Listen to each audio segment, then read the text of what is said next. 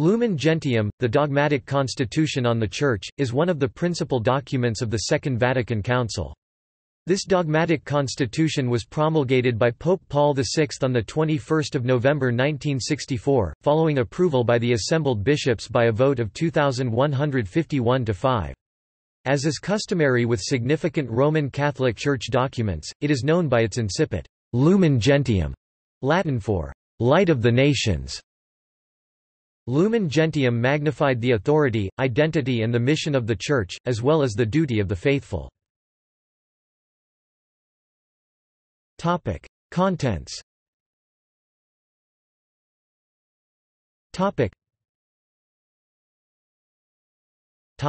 Chapter 1, The Mystery of the Church 1 to 8.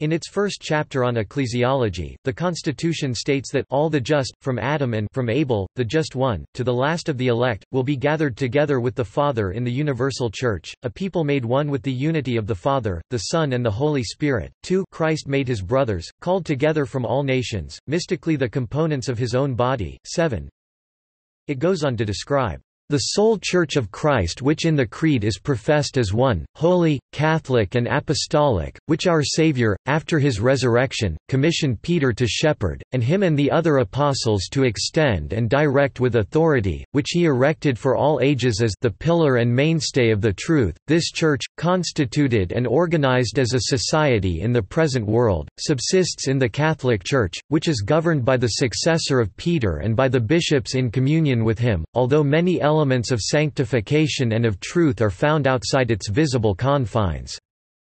8. Pope Francis has taken a central theme of his pontificate from Lumen Gentium section 8 on the Church following Christ in his poverty and humility in order to bring the good news to the poor. Topic: Chapter 2 on the people of God 9 to 17. Topic: Topic: Church is the people of God. One of the key portions of Lumen Gentium is its second chapter, with its declaration that the Church is the people of God. At all times and in every race God has given welcome to whosoever fears him and does what is right. God, however, does not make men holy and save them merely as individuals, without bond or link between one another.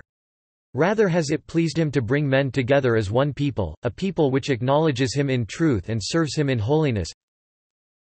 Christ instituted this new covenant, the New Testament, that is to say, in his blood, calling together a people made up of Jew and Gentile, making them one, not according to the flesh but in the Spirit. This was to be the new people of God.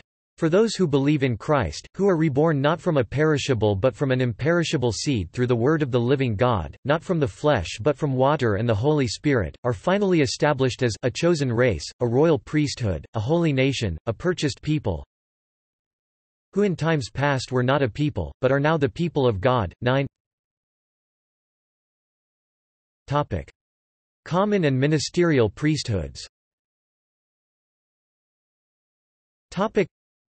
Though they differ from one another in essence and not only in degree, the common priesthood of the faithful and the ministerial or hierarchical priesthood are nonetheless interrelated, each of them in its own special way as a participation in the one priesthood of Christ. The ministerial priest, by the sacred power he enjoys, teaches and rules the priestly people, acting in the person of Christ, he makes present the Eucharistic sacrifice, and offers it to God in the name of all the people. But the faithful, in virtue of their royal priesthood, join in the offering of the Eucharist. They likewise exercise that priesthood in receiving the sacraments, in prayer and thanksgiving, in the witness of a holy life, and by self-denial and active charity. 10 Topic.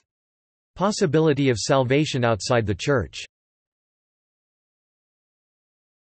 Topic. In the second chapter, the Council teaches that God wills to save people not just as individuals but as a people. For this reason God chose the Israelite people to be his own people and established a covenant with it, as a preparation and figure of the covenant ratified in Christ that constitutes the new people of God, which would be one, not according to the flesh, but in the Spirit and which is called the Church of Christ. 9 Only those who knowing that the Catholic Church was made necessary by Christ, would refuse to enter or to remain in it, could not be saved." 14 All human beings are called to belong to the Church. Not all are fully incorporated into the Church, but the Church recognizes that in many ways she is linked with those who, being baptized, are honored with the name of Christian, though they do not profess the faith in its entirety or do not preserve unity of communion with the successor of Peter. 15 In addition, the Church declares the possibility of salvation for non-Christians and even non-theists. Finally, those who have not yet received the Gospel are related in various ways to the people of God. In the first place we must recall the people to whom the Testament and the promises were given and from whom Christ was born according to the flesh. On account of their fathers this people remains most dear to God, for God does not repent of the gifts he makes nor of the calls he issues. But the plan of salvation also includes those who acknowledge the Creator. In the first place amongst these there are the Muslims, who, professing to hold the faith of Abraham, along with us adore the one and merciful God, who on the last day will judge mankind. Nor is God far distant from those who in shadows and images seek the unknown God, for it is he who gives to all men life and breath and all things, and as Saviour wills that all men be saved. Those also can attain to salvation who through no fault of their own do not know the gospel of Christ or his church, yet sincerely seek God and moved by grace strive by their deeds to do his will as it is known to them through the dictates of conscience. Nor does divine providence deny the helps necessary for salvation to those who, without blame on their part, have not yet arrived at an explicit knowledge of God and with His grace strive to live a good life. 16 Topic. New evangelization Topic. The new evangelization message in the Catholic Church is rooted in LG 17 and is one of the signs that the Church is seeking to fulfill Lumen Gentium. As the Father sent the Son, so he too sent the apostles Matthew chapter 28 verse 18-28 to 20. Topic: Chapter 3: The hierarchical structure of the church and in particular on the episcopate 18 to 29.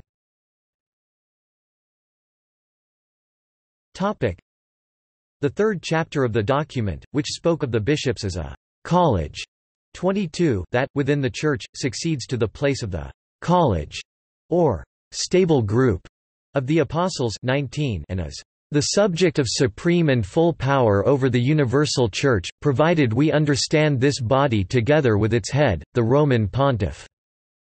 22 Conservative bishops in the council were fearful that the idea of the College of Bishops would be interpreted as a new conciliarism, a 15th-century idea that an ecumenical council was the supreme authority under Christ in the Catholic Church.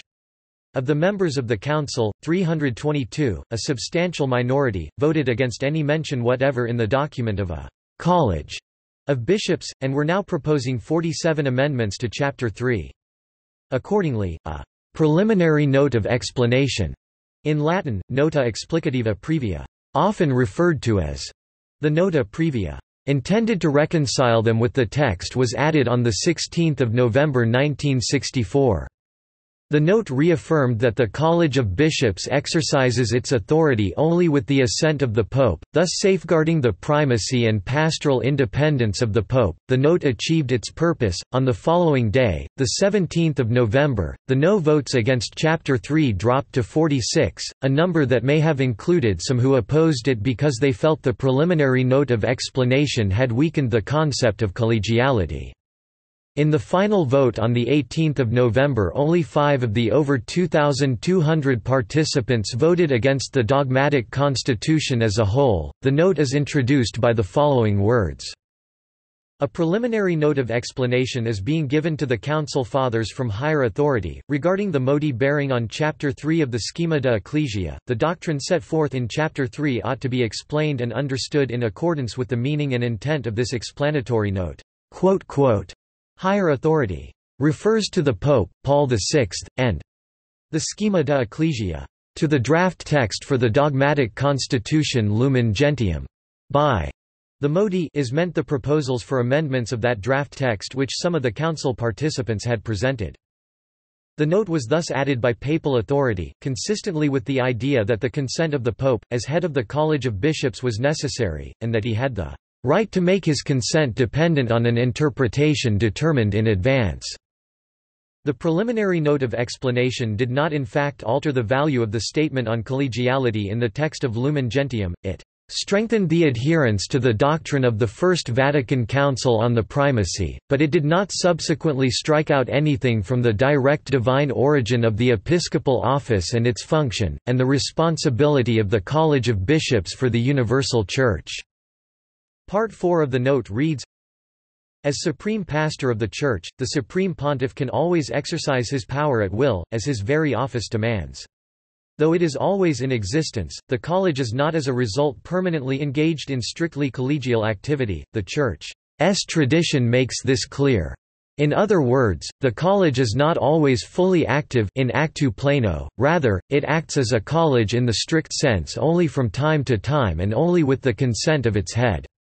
The phrase, with the consent of its head is used to avoid the idea of dependence on some kind of outsider. The term, consent, suggests rather communion between the head and the members, and implies the need for an act which belongs properly to the competence of the head. This is explicitly affirmed in N. 22, 12 and is explained at the end of that section. The word, only, takes in all cases. It is evident from this that the norms approved by the supreme authority must always be observed.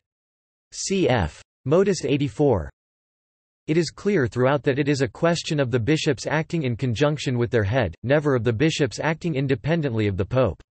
In the latter instance, without the action of the head, the bishops are not able to act as a college, this is clear from the concept of college. This hierarchical communion of all the bishops with the supreme pontiff is certainly firmly established in tradition.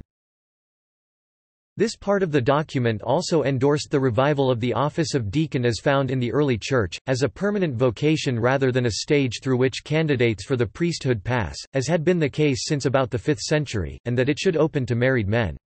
It said that the diaconate can in the future be restored as a proper and permanent rank of the hierarchy.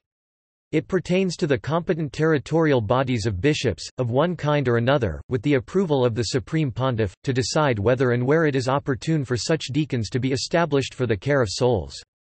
With the consent of the Roman pontiff, this diaconate can, in the future, be conferred upon men of more mature age, even upon those living in the married state. It may also be conferred upon suitable young men, for whom the law of celibacy must remain intact. Chapter 4, The Laity 30 to 38. Topic The laity are gathered together in the people of God and make up the body of Christ under one head. Whoever they are they are called upon, as living members, to expend all their energy for the growth of the Church and its continuous sanctification. Through their baptism and confirmation all are commissioned to that apostolate by the Lord himself. Moreover, by the sacraments, especially Holy Eucharist, that charity toward God and man which is the soul of the apostolate is communicated and nourished. Now the laity are called in a special way to make the Church present and operative in those places and circumstances where only through them can it become the salt of the earth. 33. But the Lord wishes to spread his kingdom also by means of the laity, namely, a kingdom of truth and life, a kingdom of holiness and grace, a kingdom of justice, love and peace. 36. Topic. Chapter 5 The Universal Call to Holiness in the Church 39 to 42 Topic. This theme was built on in the 5th chapter which is on the universal call to holiness Thus it is evident to everyone, that all the faithful of Christ of whatever rank or status, are called to the fullness of the Christian life and to the perfection of charity, by this holiness as such a more human manner of living is promoted in this earthly society. In order that the faithful may reach this perfection, they must use their strength accordingly as they have received it, as a gift from Christ.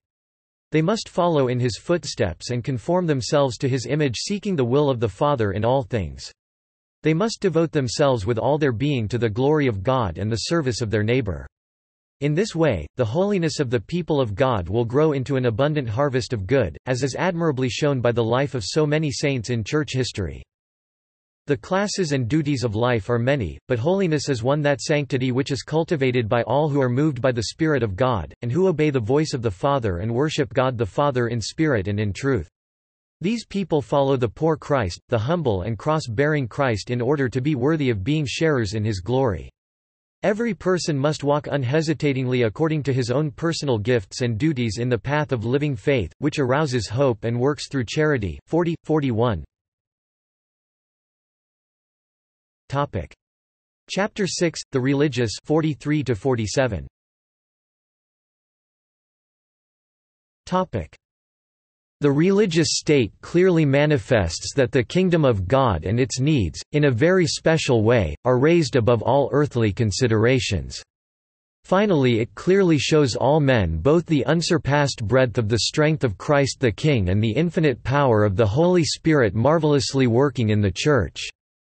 It is considered a deepening of the baptismal character. The religious life is conducive to the building up of other persons and of the world in Christ. Chapter 7, The Eschatological Nature of the Pilgrim Church and its Union with the Church in Heaven 48 -51. Topic. This chapter affirms the oneness of the Church on earth with the Church in Heaven. It makes indirect allusion to the future fulfillment of Bible prophecy in history. It continues themes of sanctification and holiness from earlier sections. It affirms the ancient church practices of remembering the saints and imploring their intercession.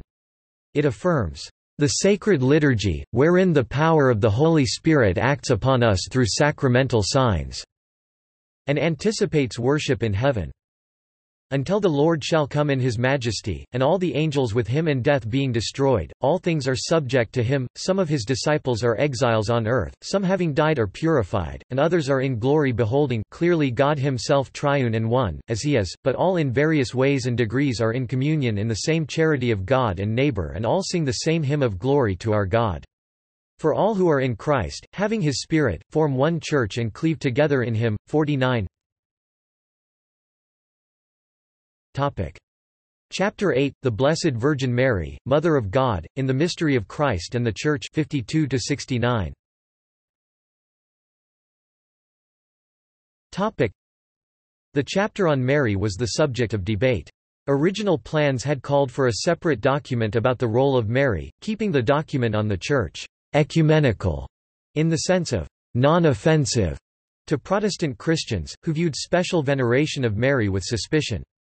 However, the Council Fathers insisted, with the support of the Pope, that, as Mary's place is within the Church, treatment of her should appear within the Constitution on the Church. Vatican Council II was sensitive to the views of other Christians, as the Council, at the request of Pope John XXIII, hoped to promote Christian unity, but knew there are different concepts about Mary among other Christians, especially Protestants.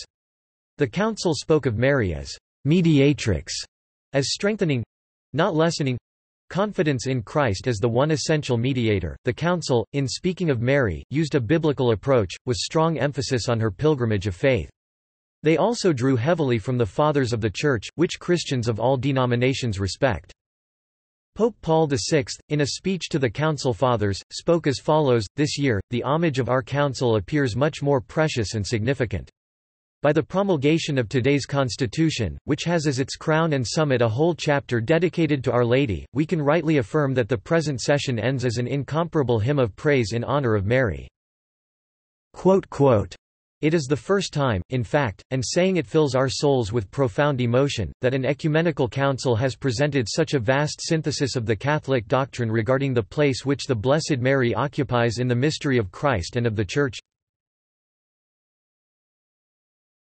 Topic. Issues surrounding the document Topic. Topic. Contributors Topic. Marie Rosaire Gagnebet OP (1904–1983), professor of theology at the Pontifical University of St. Thomas Aquinas, Angelicum from 1938 to 1976 and Peritus during Vatican II, was influential in the redaction of the Lumen Gentium.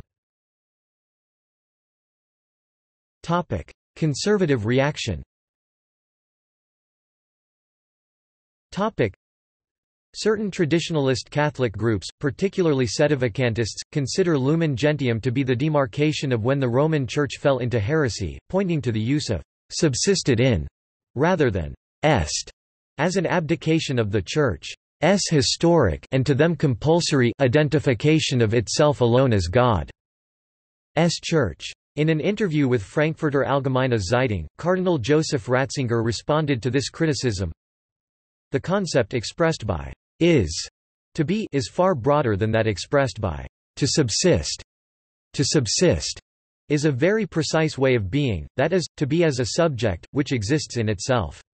Thus the Council Fathers meant to say that the being of the Church as such is a broader entity than the Roman Catholic Church, but within the latter it acquires, in an incomparable way, the character of a true and proper subject. Possibility of salvation outside the Catholic Church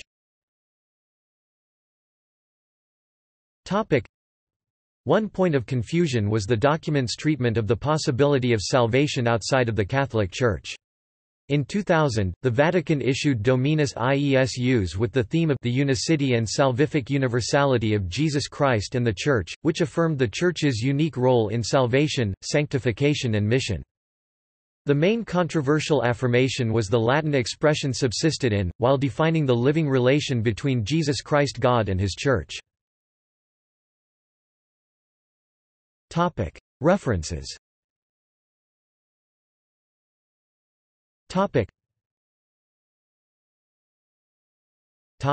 Further reading.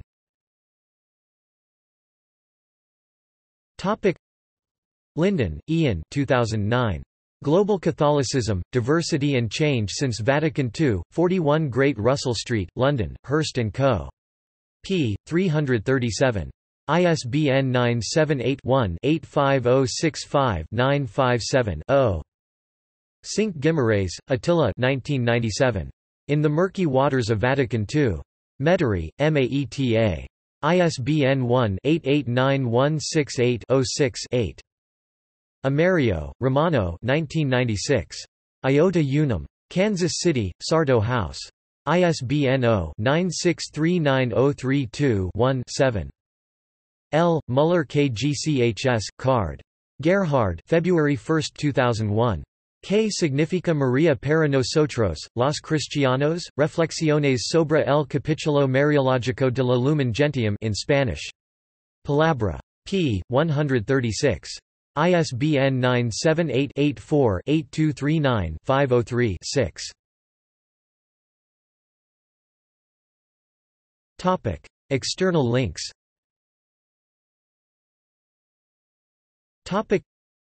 English translation of Lumen Gentium on the website of the Holy See